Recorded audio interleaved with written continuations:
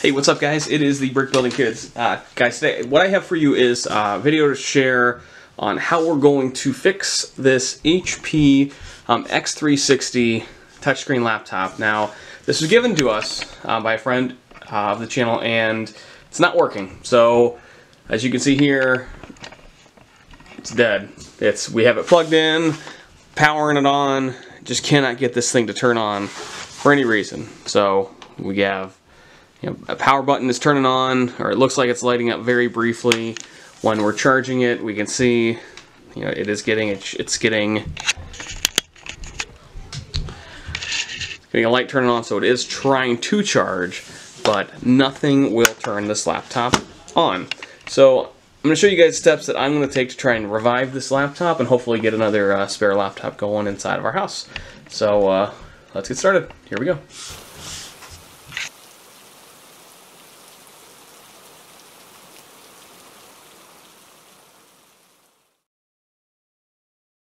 Alright guys, now with these laptops, it could be something very simple. It could just be the battery, it could be, you know, something not so simple uh, like the motherboard, or, you know, it, it, could be something with the touchscreen that's turned on and we don't see it. So, um, my first steps is, you know, I've, I've unplugged the bat, I've unplugged the charger, let it die, um, let it sit for like an hour, turn it back on. That's one step you may want to try. So It's just simple as unplugging that power cord and uh, just letting it completely drain of all power plugging it back in and turning back on the power see if it revives it. Um, in this case, you know, it, it is not. It is still still very much dead. So um, to me, I don't think this is anything simple yet. So another step you may want to try if you haven't already, try hold that power button down, hold it down for 10 seconds, just keep holding it to see if you can see if you can see any change on the computer screen at all, or the laptop screen. You know, for us, again, you know, there's just, just no change at all. So, you know, I believe this is something more hardware related. So I'm to unplug this from the charger, and what we're going to do is we're to take this apart. Now, there are four of these little knobs or nubs on the bottom. We don't need to take off these two because there are no screws underneath. So we're going to take off the top. Okay, so there's a screw there. We'll set these to the side. We're to take off this other one. All right. So here's our two hidden screws. Now, for all of these, you're to need a precision screwdriver. Now, these are smaller screws, so come here. I'm just to undo all of these. Now there is one thing I want to note is the screws in the back, they are larger, so you just want to set those aside or make note of that. They are slightly larger.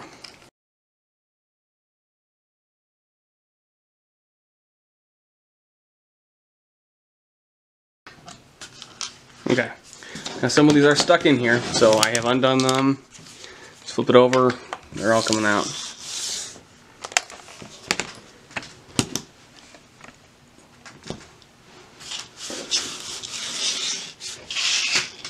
Alright, now, like I said, you can see these four from the back are larger, and these other ones are not quite as large. Just do a double check, make sure that they're all out. Out, out, out. Out, out, out, out. Out, out, and out. Okay.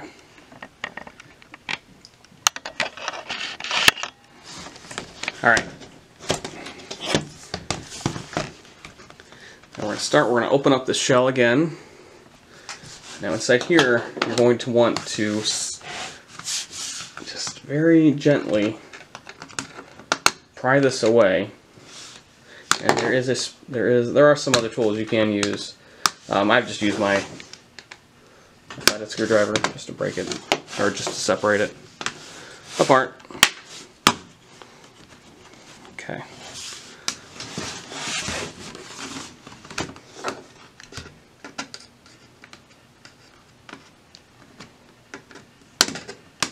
And over here on this side, you will want to be a little more careful because you do have your USB and HDMI slots, so just be aware of.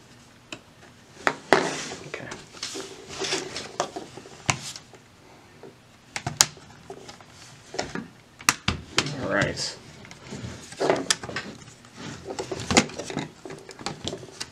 As you can see in here, we've got one part of part of this bottom casing that is attached by ribbon. So up here, this ribbon, there is a small, I'm gonna, I'm gonna unlock it here, unlock it, I'm gonna pull this ribbon out, okay.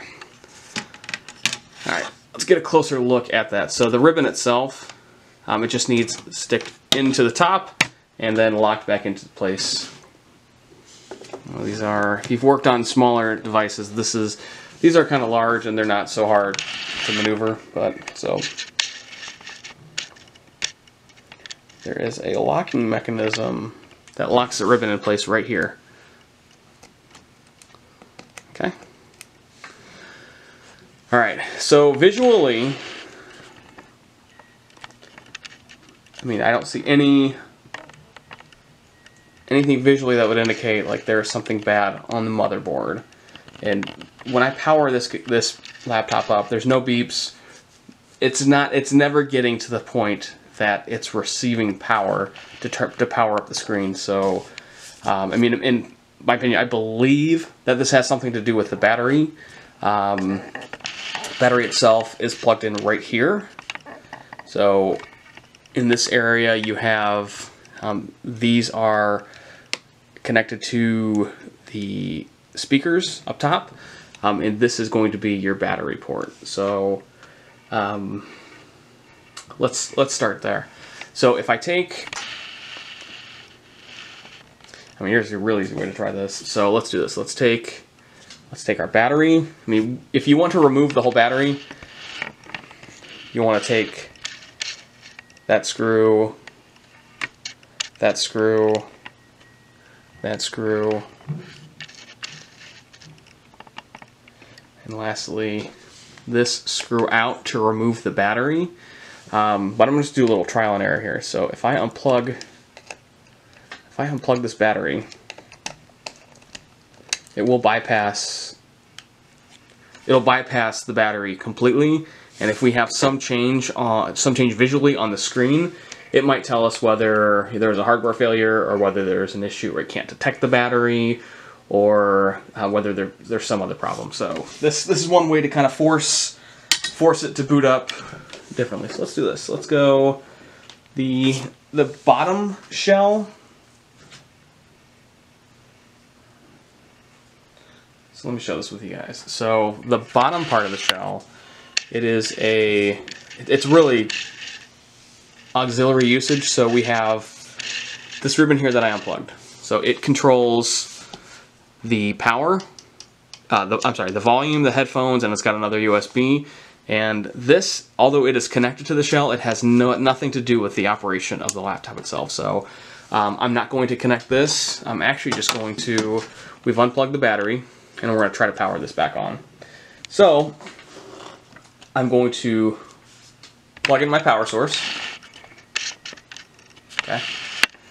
And let's see if this boots up. Okay. So if this boots up, then it's our battery. That's all that's wrong. Okay, and since we have removed that shell, the battery is going to be a little, or sorry, the power button on the side is a little, you're going to need to, to press it right there.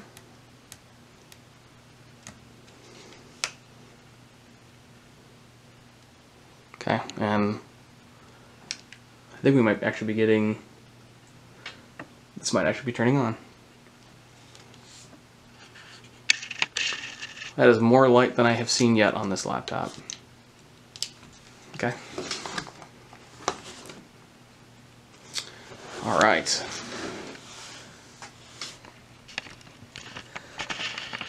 Okay, so here's our, this is this has never popped up yet. Okay, so the CMOS checksum is invalid. The CMOS will reset to the default configuration and will be rebooted. Check your BIOS. Setup options if they change. Enter to reboot the system. All right. So we're gonna reboot the system. This is a, this is definite definite progress. Okay. So enter. All right. This is amazing. This is good stuff.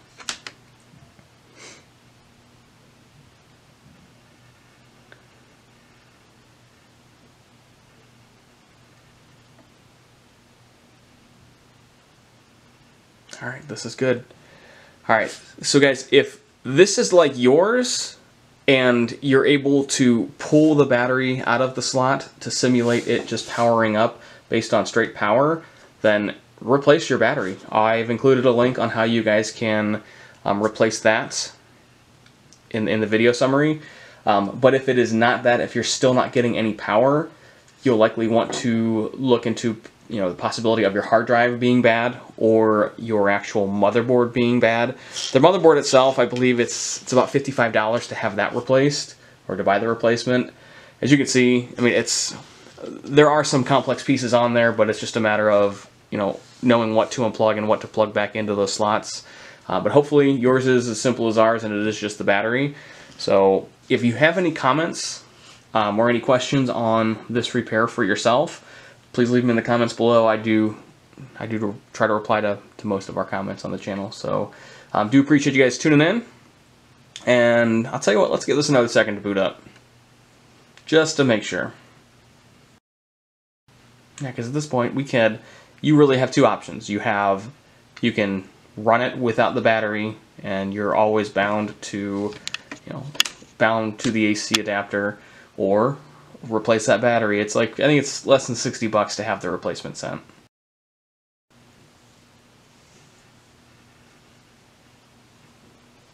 Alright, so we're starting here.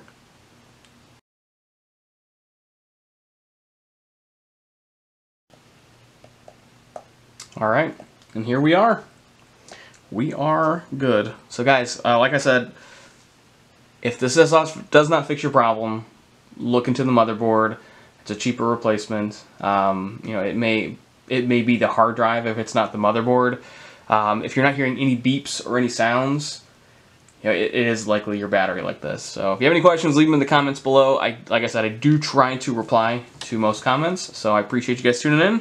Thank you very much for watching The Brick Building Kids. Have a great day.